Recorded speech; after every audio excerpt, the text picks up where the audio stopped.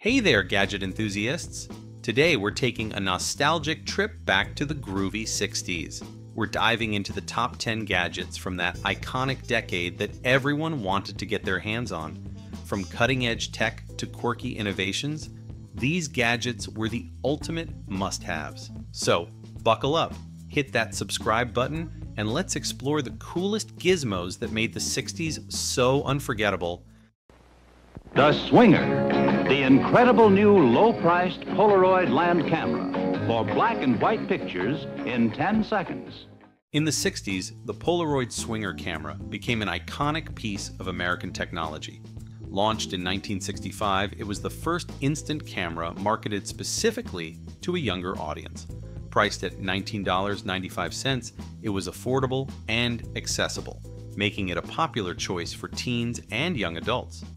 The Swinger was designed by Henry Dreyfuss and featured a sleek, modern look that appealed to the style of the era. With its yes indicator, users knew exactly when to snap the perfect shot, and in a minute, they had their print. This was a revolutionary concept at the time as traditional film cameras required film development, a process that could take days. Advertised with the catchy slogan, It Says Yes, the Swinger was heavily promoted on television and in print. It became a cultural phenomenon, often seen at family gatherings, parties, and vacations. It made photography fun and spontaneous, capturing moments instantly without the need for professional skills or equipment. The Polaroid Swinger eventually faded into obscurity. The rise of more advanced instant cameras and the eventual digital photography revolution made the Swinger seem outdated. By the late 70s, the Polaroid SX70 and other models had surpassed the Swinger in terms of popularity and functionality. These newer models offered better picture quality and more features, leading to the Swinger being phased out. For those who don't have a butler, Zenith suggests Space Command remote control. It changes channels. It changes sound levels. Even In the 60s, the Zenith Space Command remote control changed how Americans watched TV. Before remote controls, people had to get up to change channels or adjust the volume. This remote was a game changer, using ultrasonic sound to send signals to the TV, a technology that felt futuristic at the time. Zenith Electronics Corporation, the company behind this innovation, named it the Space Command to highlight its advanced technology. Unlike earlier remotes that used wires or required physical movement, the Space Command used high frequency sound. This remote had no batteries. It worked by striking a metal rod to create sound waves, which the TV could interpret. The Space Command remote was durable and reliable. Brands like RCA and General Electric soon adopted similar technology, making ultrasonic remotes standard in American households. They offered convenience and were seen as a symbol of modern living. However, as technology advanced, the limitations of ultrasonic remotes became apparent. High frequency sound could be disrupted by common household noises, and the remotes could only perform basic functions like changing channels and adjusting volume. Infrared technology emerged in the 80s, providing more reliable and versatile control. Infrared remotes could send more complex signals and were less prone to interference. In the 60s, Sony introduced the reel to reel tape recorder to America, revolutionizing the way people listened to and recorded audio. These machines became popular due to their high quality sound and versatility. Brands like Sony, Akai, and TEAC were at the forefront of this audio technology. Sony's TC630 was one of the iconic models of the time. It featured robust construction, reliable performance, and user friendly controls. Musicians and audiophiles embraced these recorders for home use and professional settings. The Beatles, for instance, used reel to reel recorders extensively during their recording sessions, highlighting the technology's importance in music production. Reel to reel tape recorders offered superior sound quality compared to vinyl records and cassette tapes. They allowed for longer recording times and multiple tracks, making them ideal for studio use. Radio stations also adopted these machines for their programming, taking advantage of their ability to produce high fidelity audio. The popularity of reel to reel tape recorders began to decline in the late 70s. The rise of compact cassette tapes, which were more convenient and portable, played a significant role in this shift. Sony itself contributed to this change with the introduction of the Walkman, which further popularized cassette tapes. In the 60s, the Motorola Pageboy was a revolutionary device in America. As one of the first personal pagers, it changed how people communicated, especially in professional settings. Introduced by Motorola, a leading electronics manufacturer at the time, the Pageboy was a compact battery-powered device that could receive short messages, alerts, and pages. It quickly became popular in hospitals, police departments, and various industries that required immediate communication. One of the key features of the Pageboy was its simplicity. It didn't have a screen or complicated functions, just a small speaker that emitted a beep to alert the user of an incoming message. This straightforward approach made it user-friendly and reliable. Doctors, for instance, could be easily reached during emergencies, significantly improving response times and patient care. Despite its initial success, the Pageboy eventually became obsolete. The rapid advancement of technology in the following decades introduced more sophisticated devices. By the 80s, pagers with alphanumeric displays and the ability to send messages back became the norm, rendering the Pageboy's basic functionality outdated. Additionally, the rise of mobile phones in the 90s, which combined voice communication with text messaging and more, made pagers largely unnecessary for the general public. This is Odyssey, the new electronic game simulator. You attach Odyssey to your television set in seconds. The Magnavox Odyssey holds the title of the world's first commercial home video game console. It marked the beginning of the video game industry. Developed by Ralph H. Baer, often called the father of video games, the Odyssey was a groundbreaking device that paved the way for future gaming systems. The Odyssey was produced by Magnavox, an American electronics company, it came with a white, black, and brown box, and was equipped with two paddle controllers and a few cartridges. These cartridges didn't contain any data, but rather altered the circuits inside the console to display different games on the screen. One of the most popular games was a version of Ping Pong, which later inspired the famous game Pong by Atari. Unlike today's consoles, the Odyssey didn't generate sound and required players to place plastic overlays on their TV screens to simulate color graphics. The games were very simple and included activities like table tennis, skiing, and a haunted house game. Despite its simplicity, the Odyssey sold around 350,000 units by the time it was discontinued in 1975. Many consumers mistakenly thought it could only work with Magnavox TVs, limiting its market potential. Additionally, the games were too simplistic to retain long-term interest, especially as more advanced systems like Atari's Pong came into the market shortly after, and by the late 70s, the Odyssey had faded into obscurity. Taking pictures with a Kodak Instamatic camera is easier than witchcraft, and they start at less than $19.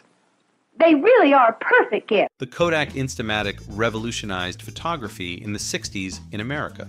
Introduced in 1963, it was Kodak's response to the growing demand for an easy-to-use camera that could capture everyday moments. This compact, affordable camera featured a simple point-and-shoot design, making it accessible to everyone, from amateur photographers to families documenting their lives. Kodak's innovation lay in the Instamatic's film cartridge system. Unlike previous cameras that required threading film onto spools, the Instamatic used a pre-loaded film cartridge. This eliminated the hassle of loading film, reducing the risk of exposure, and making it nearly foolproof to use. The Instamatic quickly became popular, selling millions of units. Models like the Instamatic 100 and 104 were household names. One notable aspect was the partnership with celebrities for marketing. Stars like Mickey Mantle and Walt Disney endorsed the camera, enhancing its appeal. The Instamatic's success was also boosted by its affordability, with prices starting at around $16.95, making photography accessible to a broader audience. The Instamatic began to decline in the late 70s. Advances in camera technology, such as the rise of 35mm film cameras and the introduction of instant photography by Polaroid, offered more features and better quality images. It's the Philco Safari, the world's first battery-powered television set. That's right, transistor television that plays anywhere without plugging. In the 60s, the Philco Safari portable TV set made waves in American households. It was the first truly portable television, hitting the market in 1959. This little gadget was a symbol of innovation, with a sleek design and a compact size that made it easy to carry around. At a time when most TVs were bulky and stationary, the Philco Safari offered a new level of convenience. Philco, a major brand in consumer electronics, was already known for its radios and televisions. The Safari was a game changer. It featured a 2.75 inch screen, which was tiny compared to today's standards, but back then it was revolutionary. This TV set operated on batteries, which meant you could take it anywhere, a big deal before the era of mobile devices. It sold for around $250, a significant amount of money in the 60s, equivalent to over $2,000 today. Despite its high cost, it attracted tech enthusiasts and those looking to stay ahead of the curve. However, the Philco Safari didn't stay popular for long. The technology quickly became outdated. The screen was small and in black and white, while larger color TVs were becoming more affordable and widespread. Additionally, the rise of new brands and advancements in technology made the Safari less appealing. The Kodak carousel projector was a popular device in America during the 60s. Introduced by the Eastman Kodak Company in 1961, it quickly became a staple for showing slides. The projector used a circular tray that could hold up to 140 slides, making it convenient for viewing large collections of photos. During this era, the Kodak carousel projector was a common sight in homes, schools, and businesses. Families used it to show vacation photos and holiday snapshots. Educators used it for teaching, and businesses used it for presentations. The projector's ease of use and reliability made it a favorite among many.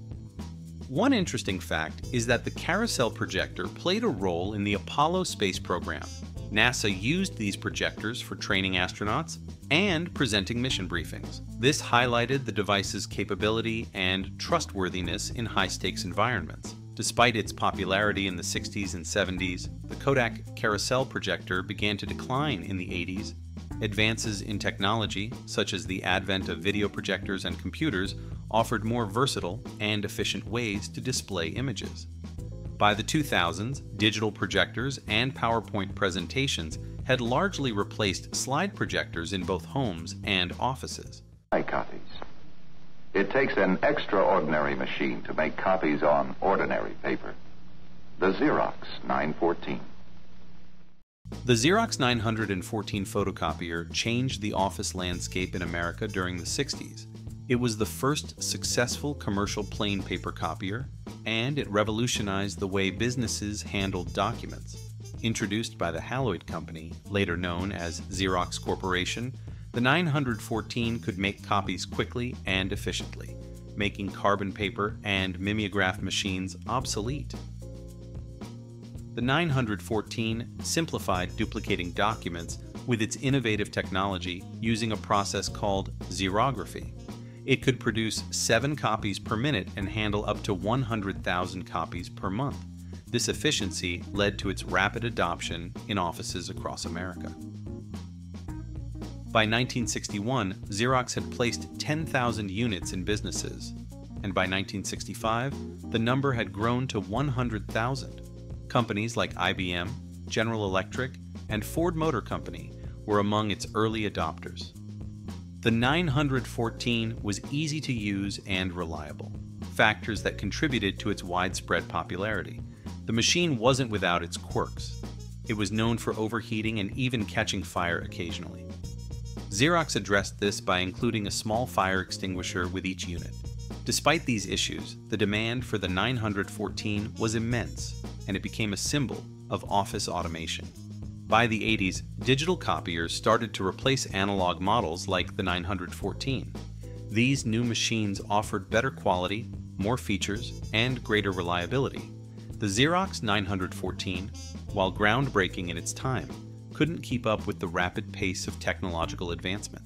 The Ristaucrat jukebox was a popular feature in American diners and bars during the 60s. Known for its sleek design and high quality sound, the Ristaucrat became a symbol of the era's musical culture. The brand was established by Charles E. Ristow in 1949 and quickly gained popularity for its innovative and reliable jukeboxes. One of the key features of Ristaucrat jukeboxes was their use of 45 revolutions per minute records, which were the standard format for singles during that time. This allowed the machines to hold more records and provide a wider selection of music compared to older models that used 78 revolutions per minute records. The Ristaucrat S45, introduced in the early 50s, became one of the most iconic models, known for its streamlined appearance and easy operation. The 60s saw a boom in jukebox popularity, and Ristaucrat was at the forefront. These machines were often found in diners, soda fountains, and bars, providing the soundtrack to many social gatherings. Popular artists of the time, such as Elvis Presley, the Beatles, and the Supremes, filled the playlists of these jukeboxes, making them a crucial part of the American music experience. By the 80s, jukeboxes had become more of a nostalgic novelty rather than a staple in public venues. Wow, wasn't that a blast from the past? Those 10 gadgets from the 60s truly revolutionized the way we live today. Which one was your favorite? Let us know in the comments below. If you enjoyed this trip down memory lane, give this video a thumbs up and share it with your friends. Don't forget to hit that subscribe button and ring the bell icon so you never miss out on our latest videos. We've got even more exciting tech nostalgia coming your way, so stay tuned. Thanks for watching and see you in the next video.